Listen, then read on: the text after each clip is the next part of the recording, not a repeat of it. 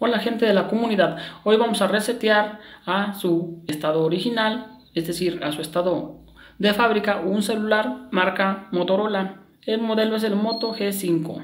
Para hacerlo tengan en cuenta que se va a borrar toda su información. Asimismo, también el teléfono debe de estar 100% apagado y vamos a presionar sin soltar el botón de bajar volumen.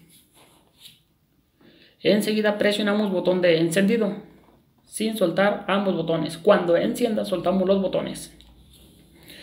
Va a aparecer este pequeño robot con un par de opciones.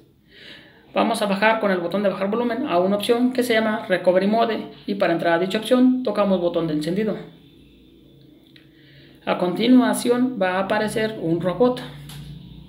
Para que aparezca el menú oculto vamos a presionar sin soltar el botón de encendido presionamos encendido sin soltar y rápidamente vamos a tocar el botón de subir volumen. Listo, aquí ya apareció el menú. Ahora con el botón de bajar volumen bajamos a la palabra llamada WIPI Data Factory Reset y tocamos botón de encendido. Aquí bajamos hasta la tercera opción y tocamos botón de encendido. Y comenzará el reseteo o borrado.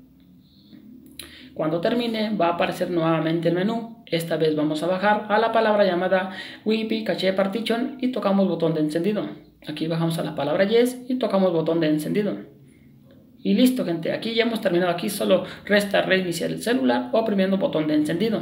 Listo gente, si les fue de utilidad el video tutorial, no olviden suscribirse a mi canal. Saludos a todos y hasta la próxima.